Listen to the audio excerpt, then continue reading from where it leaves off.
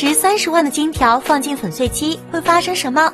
看着太解压了。粉碎机大家都知道，威力非常的大，几乎任何东西都能摧毁，只要能放得下，那分分钟就让它变成碎渣。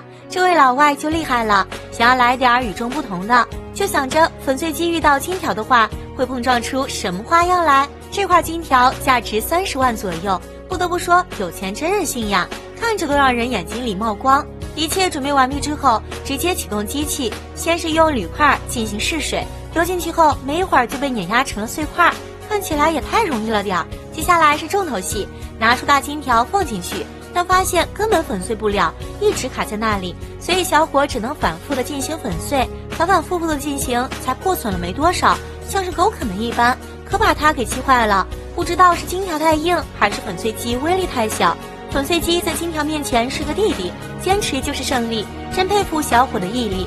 最终金条还是败给了粉碎机，被弄成了碎渣。太会玩了，咱是玩不起，有三十万买点啥不好？不过看起来还是很解压的。